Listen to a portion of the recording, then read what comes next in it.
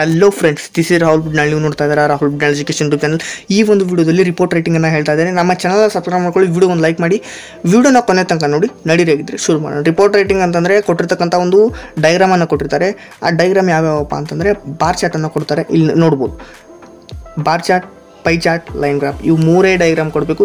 ಜಾಸ್ತಿ ಕೊಡೋದು ಅಂತಂದರೆ ಬಾರ್ ಚಾರ್ಟನ್ನೇ ಕೊಡ್ತಾರೆ. ಅಥವಾ ಅದಕ್ಕೂ ಸ್ವಲ್ಪ ಏನಂತಂದರೆ ಸಿಮಿಲರ್ ಪೈ ಚಾರ್ಟನ್ನು ಕೊಡ್ತಾರೆ. ತುಂಬಾ ಈಸಿಯಾಗಿರುತ್ತೆ ಯಾವ ರೀತಿ ಬರೆಯೋದು ಅಂತ ಹೇಳ್ತಾ ಇದ್ದೇನೆ. ರಿಪೋರ್ಟ್ ರೈಟಿಂಗ್ ಅಂತ ಅಂದರೆ ಅಂದರೆ ಏನಪ್ಪ ಅಂತಂದರೆ ರಿಪೋರ್ಟ್ ರೈಟಿಂಗ್ ಅಂತಂದರೆ ಒಂದು ಡೈಗ್ರಾಮಲ್ಲಿ ಡಾಟಾವನ್ನು ಕೊಟ್ಟಿರ್ತಾರೆ. ಅದನ್ನು ನಮ್ಮ ಓನ್ ಸೆಂಟೆನ್ಸಲ್ಲಿ ನಾವು ಬರೆಯೋದು. ಇದಕ್ಕೆ ಐದು ಅಂಕದ ಒಂದು ಪ್ರಶ್ನೆ ಇದು. ಓಕೆ ಇನ್ನು key points of the report writing ಒಂದನೇದಾಗಿ ಟೈಟಲನ್ನು ಹಾಕಬೇಕು. ಟೈಟಲ್ ಇಂಟ್ರೊಡಕ್ಷನ್ ಅನಾಲಿಸಿಸ್ ಕನ್ಕ್ಲೂಷನ್ ಇವು ಟೈಟಲ್ಗೆ ಅರ್ಧ ಮಾರ್ಕ್ಸ್ ಇರುತ್ತೆ. ಇಂಟ್ರೊಡಕ್ಷನ್ಗೆ ಒನ್ ಮಾರ್ಕ್ಸ್ ಇರುತ್ತೆ. ಇಂಟ್ರೊಡಕ್ಷನ್ಗೆ ಒನ್ ಮಾರ್ಕ್ಸ್ ಅದೇ ರೀತಿಯಾಗಿ ಇದಕ್ಕೆ ಮೂರು ಅಂಕಗಳಿರುತ್ತೆ ಅನಾಲಿಸಿಸ್ಗೆ ಎಷ್ಟಾಯಿತು? ನಾಲ್ಕೂವರೆ. ಇದಕ್ಕೆ ಅರ್ಧ ಮಾರ್ಕ್ಸ್ ಇರುತ್ತೆ.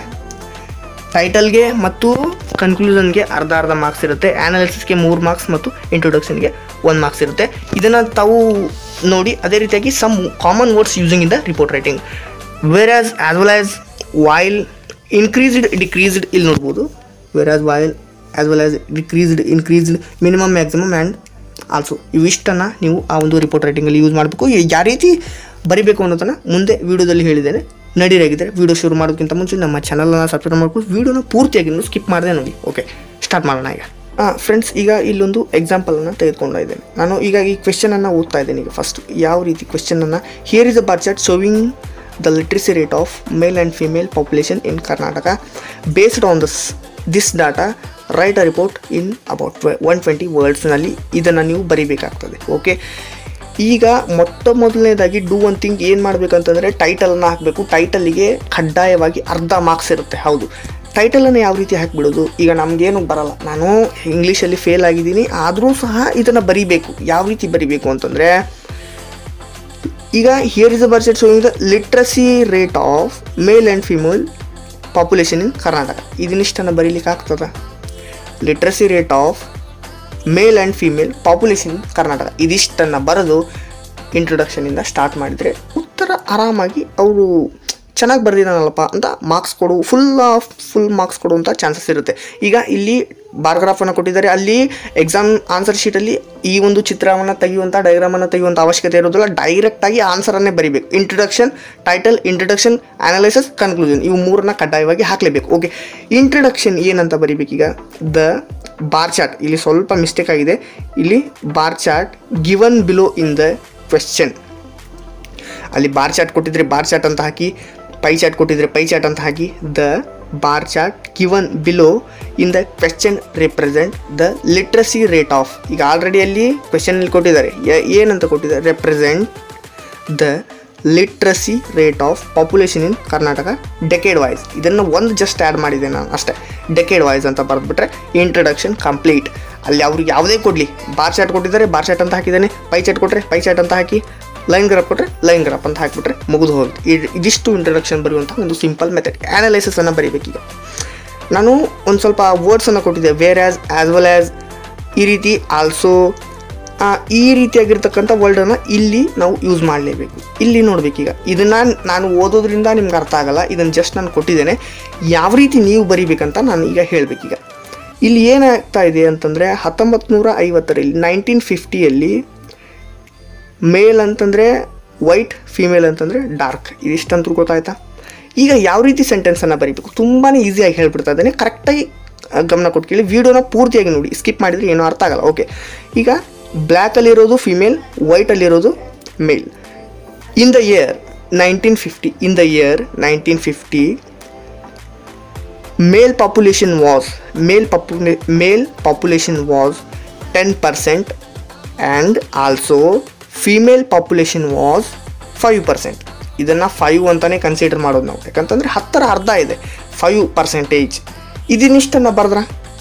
ನಾನು ಏನು ಹೇಳಿದೆ, ಇಲ್ಲಿ ಆಲ್ರೆಡಿ ಅದನ್ನು ಕೊಟ್ಬಿಟ್ಟಿದ್ದೇನೆ ನನಗೆ. In the year of nineteen fifty the literacy rate of male population was ten percentage female population was five percentage ಇದನ್ನಿಷ್ಟನ್ನು, ಇದು ಒಂದು ವಾಕ್ಯದಿಂದ ನೀವು ಎಲ್ಲ ವಾಕ್ಯಗಳನ್ನು ಆರಾಮಾಗಿ ಬರಿಬೋದು. ಇಲ್ಲಿ ಜಸ್ಟ್ ಏನು ಮಾಡಬೇಕಂತಂದರೆ, ಈಗ ಒಂದು ವಾಕ್ಯ ಹೇಳಿದ್ನ ನಾನು? ಅದೇ ರೀತಿಯಾಗಿ ಹತ್ತೊಂಬತ್ತು ನೂರ ಅರವತ್ತರ ಅರವತ್ತರ ಒಂದು ಡಾಟಾವನ್ನು ಸೇಮ್ ಅದೇ ರೀತಿಯಾಗಿ ಬರೀರಿ. ಎಪ್ಪತ್ತರದು ಅದೇ ರೀತಿಯಾಗಿ ಬರೀರಿ. ಎಂಬತ್ತು, ತೊಂಬತ್ತು, ಎರಡು ಸಾವಿರ. ಇದನ್ನಿಷ್ಟನ್ನು ಬರೀಲಿಕ್ಕೆ ಆಗ್ತದೆ? ನಾನು ಏನು ಹೇಳಿದೆ? in the year of 1950 in the of nineteen 1950 male population was 10% female population was 5% ಇದನ್ನಿಷ್ಟನ್ನು ಬರ್ದು, ಅದೇ ರೀತಿಯಾಗಿ ನೈನ್ಟೀನ್ ಸಿಕ್ಸ್ಟಿನಲ್ಲಿ ಟ್ವೆಂಟಿ ಪರ್ಸೆಂಟೇಜ್ ಅದೇ ರೀತಿಯಾಗಿ female percentage was twenty percentage ಇದೇ ರೀತಿಯಾಗಿ ನಾನು ಒಂದು ಸೆಂಟೆನ್ಸನ್ನು ಜಸ್ಟ್ ಹೇಳಿದ್ದೇನೆ. ಅದನ್ನು ನೀವು ಇದಿಷ್ಟರಿಗೂ ಇವೆಲ್ಲ ಬಾರ್ಗ್ರಾಫಿಗೂ ಅದನ್ನೇ ಒಂದು ಸೆಂಟೆನ್ಸನ್ನು ಮತ್ತೆ ಮತ್ತೆ ಮತ್ತೆ ಮತ್ತೆ ಪದೇ ಪದೇ ಪದೇ ಪದೇ ಅದನ್ನೇ ಬರೆದ್ಬಿಟ್ರೆ ನಾಲ್ಕಕ್ಕೆ ನಾಲ್ಕು ಅಂಕ, ಐದಕ್ಕೆ ಐದು ಅಂಕ ಆರಾಮಾಗಿ ಕೊಡ್ತಾರೆ. ಇನ್ನು ಈ ನಾನು ಸೆಂಟೆನ್ಸ್ ಹೇಳಿದೆ, ಆ ಸೆಂಟೆನ್ಸ್ನ ಮಧ್ಯದಲ್ಲಿ ಏನು ಮಾಡಬೇಕಂತಂದರೆ ಈಗ ಈ ಸೆಂಟೆನ್ಸನ್ನು ಒಂದು ಮಾಡಿದ್ರಿ. ಇಲ್ಲಿ ಇದರ ಮಧ್ಯದಲ್ಲಿ ಇನ್ನೊಂದು ಇದನ್ನು ಸೆಂಟೆನ್ಸನ್ನು ಬರೆಯೋದಕ್ಕಿಂತ ಮುಂಚೆ ಏನು ಮಾಡಬೇಕಂತಂದರೆ as well as as well as and ಇಲ್ಲಿ. ಇದನ್ನು ಮತ್ತು ಇದನ್ನು ಹತ್ತೊಂಬತ್ತು ನೂರ ಅರವತ್ತು ಎಪ್ಪತ್ತರ ಮಧ್ಯದ ಒಂದು ಸೆಂಟೆನ್ಸನ್ನು ಬರೆಯುವಾಗ, ಈಗ ಆಲ್ರೆಡಿ ಹತ್ತೊಂಬತ್ತು ನೂರ ಅರವತ್ತರ ಒಂದು ಸೆಂಟೆನ್ಸನ್ನು ಬರೆದ್ಬಿಟ್ಟಿರ್ತಾರೆ. ಏನಂತ ಬರೆದಿರ್ತಾರೆ? In nineteen sixty Karnataka population male population was twenty percentage female population was ten percentage ಅಂತ ಇಷ್ಟು ಬರೆದು, ಅದೇ ರೀತಿಯಾಗಿ ಆ್ಯಸ್ ವೆಲ್ ಆ್ಯಸ್ ಅಥವಾ and also in the year of nineteen seventy ಮತ್ತೆ in the year of nineteen seventy female population ಎಷ್ಟಿತ್ತು? Male population ಎಷ್ಟಿತ್ತು? ಅದೇ ರೀತಿಗೆ in the year of nineteen eighty male population ಎಷ್ಟಿತ್ತು? Female population nineteen ninety and last two thousand ಇದನ್ನಿಷ್ಟನ್ನು ಬರೀಲಿಕ್ಕೆ ಆಗ್ತದ? ಏನು ಇದರಲ್ಲಿ ಏನಾದರೂ ನಿಮಗೆ ಕಷ್ಟ ಅನ್ನಿಸ್ತಾ ಇದೆ ಇಲ್ಲಿ ಒಂದ್ಸಲ ಇದನ್ನು ನೀವು ನೋಡ್ಕೊಂಬಿಡಿ ಅದು ನಾನು ಏನೇನು ಎಕ್ಸ್ಪ್ಲೈನ್ ಮಾಡೋದ್ನು ಅದನ್ನೇ ಇಲ್ಲಿ ನಾನು ಬರೆದಿದ್ದೇನೆ ಅಷ್ಟೇ. ಇನ್ನೊಂದು ಏನೂ ಮಾಡಿಲ್ಲ. ಹೌದು. ಇದನ್ನು in the year of nineteen fifty literacy literacy rate of female male population ten percentage female population whereas female population was five percentage ಇದೇ ರೀತಿಯಾಗಿ ಅದೇ ಸೆಂಟೆನ್ಸನ್ನು ತೆಗೆದುಕೊಂಡು ಮತ್ತೆ ಮತ್ತೆ ಮತ್ತೆ ಮತ್ತೆ ಅದನ್ನೇ ಬರೆದಿದ್ದೀನಿ ನಾನು ಅಷ್ಟೇ.